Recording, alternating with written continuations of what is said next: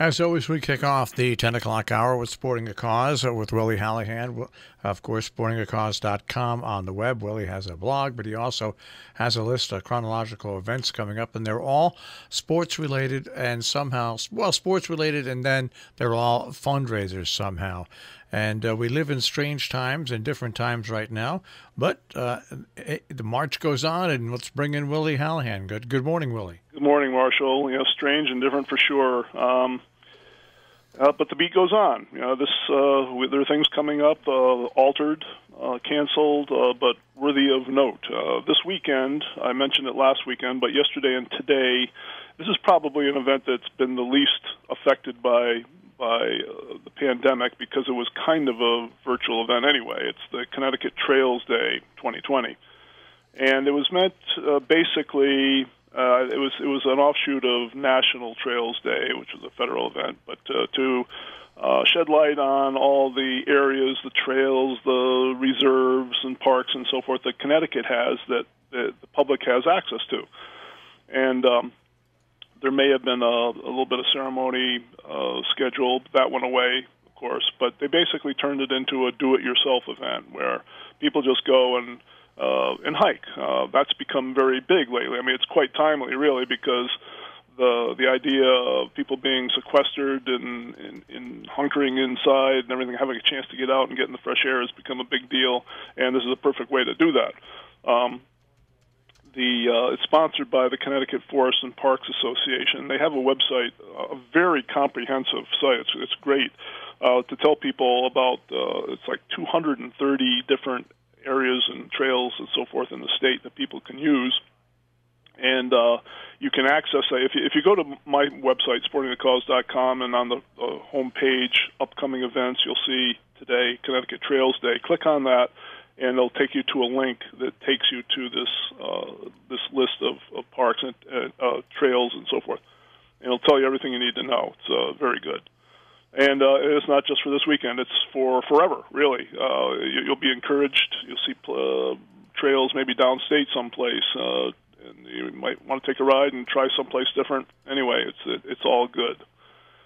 Tomorrow was supposed to be the Murphy Open golf tournament, and I've been talking about how that's been canceled, of course. it was sponsored by is sponsored by the Tri-State Chamber of Commerce.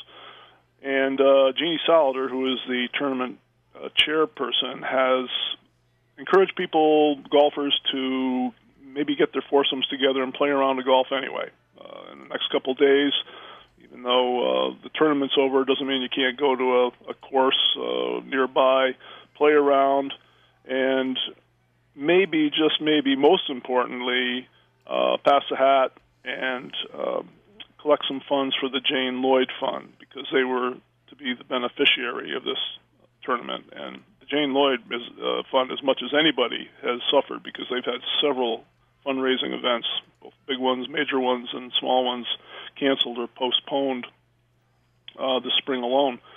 Uh, so uh, you know, play around the golf, uh, play it for Murph, uh, Bill Mayberry, after whom the tournament's named, and uh, take up a collection for the Jane Lloyd Fund. I think Jeannie says for the for the foursome that collects the most money, she's got a little prize for them, but. Uh, um, most importantly, think of the Jane Lloyd Fund. They do great work around here. They they provide uh, living expenses for people who had a cancer diagnosis, and and I know several families who have benefited from it, and uh, it, it changes their lives.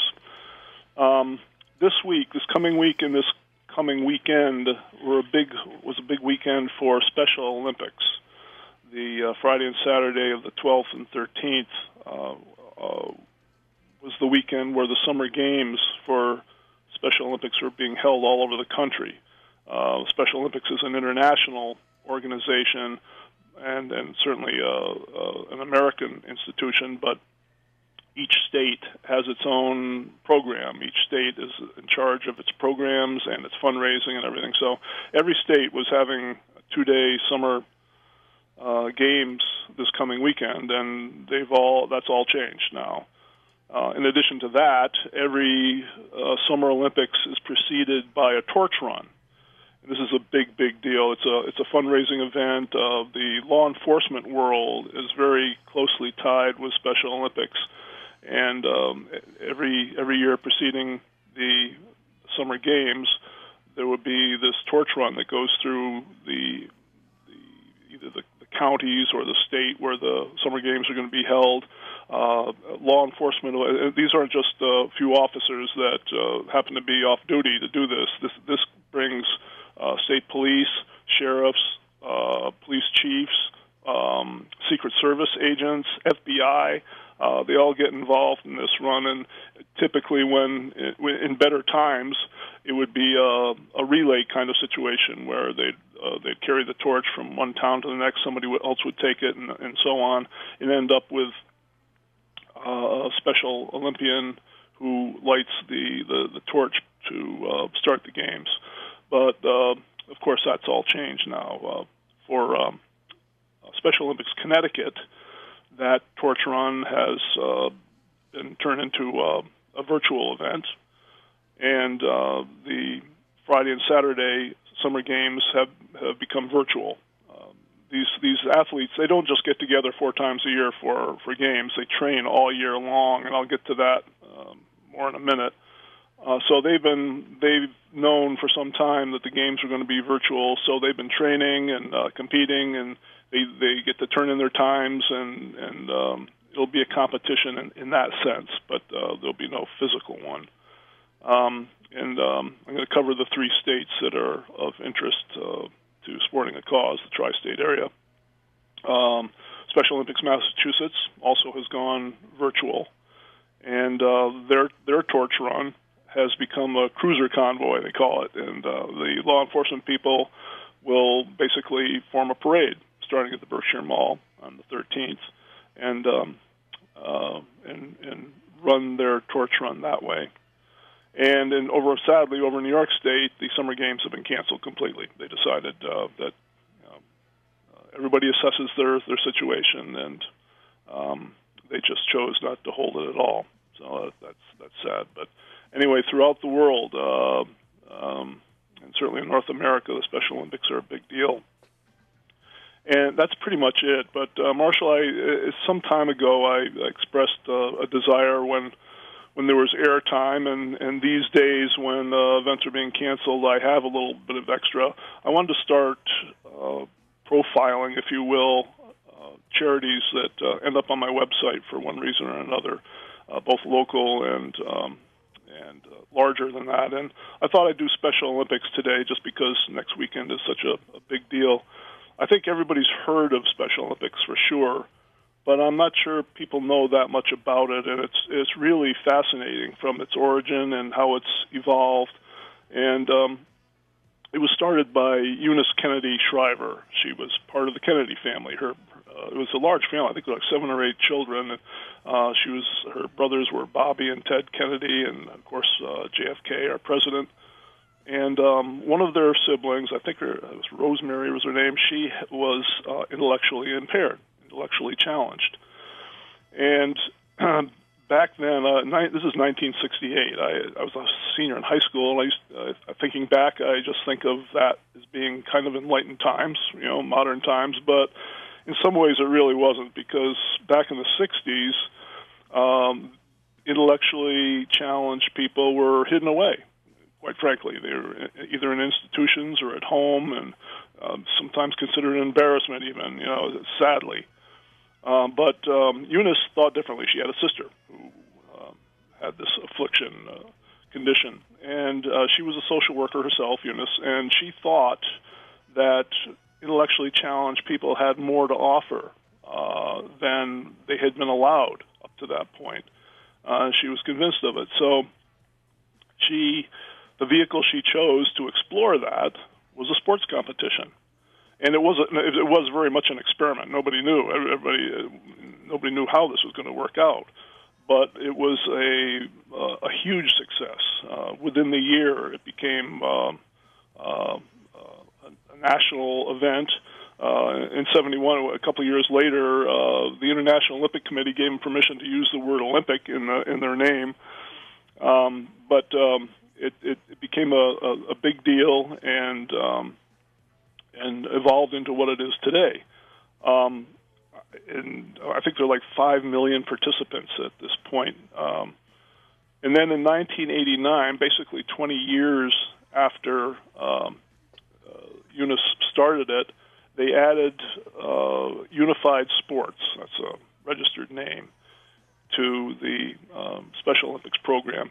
And this is pure genius. What they did was they they uh, paired elementary, middle, and high school students with Special Olympics athletes to train, to play together. Uh, they have different programs. So sometimes they'll play, they'll compete with and against each other in basketball games, and sometimes they'll just train together depending on the situation. And uh, what it brought in is a few million more people into the mix, uh, volunteers basically.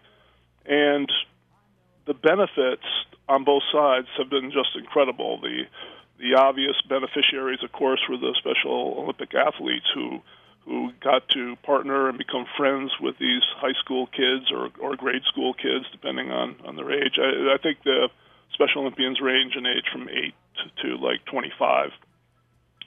Uh, but they benefited. They've benefited hugely from this, and of course, the high school kids and the grade school kids have benefited as well because, uh, first of all, they're exposed to a, a part of the segment of the population that they might not have known much about, might have even teased or laughed at, you know, uh, uh, at some point. But that all changes once they uh, become partnered. And uh, anyway, that is a huge and ongoing success. And I, I find this very heartening. Uh, uh, recently, uh, in one of the states, uh, somebody started a unified robotics program where you know, you, have, you know, schools have robotics teams and they compete. Well, they've they've made that uh, a unified event in one state, so that these kids who are involved in robotics uh, bring in uh, Special Olympics uh, athletes and involve them in robotics. And uh, in Arizona, they've started a unified sport, uh, unified arts. Uh, so clearly, there's no end to where this could all go, and it's and, and it's all good. Um, an interesting thing uh, that you you know, Marshall, we've heard it before. There's this ongoing debate when it comes to awards and trophies. Do you award uh, school kids trophies based on merit, or uh, do you give uh, everybody participation awards? That that goes back and forth, and there's no real solution. But Eunice, you know, way back before this argument even started, I think probably hit on the solution, which is uh, kind of in the middle ground. Um, when they have the game, first of all. Um, when they before they hold the games, these kids are training year round. By the way, there there are four games. Every season has a game. They train train year round, um, and uh, before the the actual event, they take great pains to group athletes by ability, so that they're very closely. Uh, you know, whether it's times, distances, no matter what the the event is, they're they're pretty closely uh, matched. And uh, when at the end of the games, uh, the winners are awarded just like the Olympics. They they award a, a gold, silver, and bronze medal to the first, second, and third place. Then they give uh, colored uh, ribbons to places four through eight, if there are that many. And if if athletes have uh, been disqualified, uh, you know that can happen just like any other sport, or they for one reason or another they can't finish the event. They're given ribbons to signify that they were there and maybe give them something to work for. So, you know, there's there's definitely they, they definitely award uh, the, the winners. Um, they recognize the the lesser winners, the the four through eight places, and they and they acknowledge for the kids who just couldn't finish for one reason or another that they were there and and have something to work for. Um, I remember Marshall a few years ago, but well, more than a few years ago now. I think it was back in the 80s. Uh, Salisbury hosted the Winter Games, Special Olympic Games for Connecticut, and SWOSA was very much involved in that, and a lot of us volunteered. And uh, I was involved uh, with a cross country skiing competition, and uh, I, it was an extraordinarily moving experience. I just remember one athlete. He he wasn't he wasn't a youngster. He may have been up on, on the uh, upper limits of the the age scale. There, he was in his twenties. He was cross country skiing, and he was like all of them, intellectually challenged and blind. and this this guy is he's cross country skiing. He doesn't have anybody holding on to him or anything. I don't.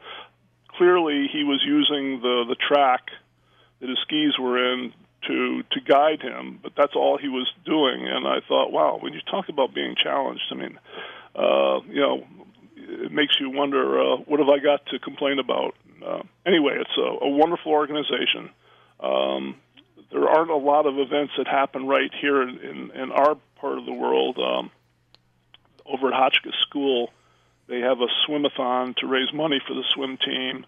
Uh, most of the actual events are held uh, in other parts of the state, but we have athletes all over the place. There are athletes from our area that uh, that uh, benefit from it. So, wonderful organization, uh, uh, started by a great lady, and um, and uh, uh, a brave move back then. I mean, it, it broke new ground because uh, basically uh, it changed our view on on what people can do, what their abilities uh, can be. So, uh, a great organization.